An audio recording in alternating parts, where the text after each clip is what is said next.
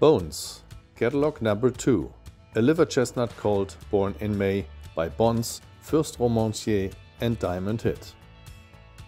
A colt with chic and charm presents himself with this quality son of Bonds.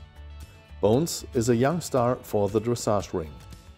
His dam is half-sister to the licensed Moreno, who placed fifth in the last year's Bundeschampionat finals.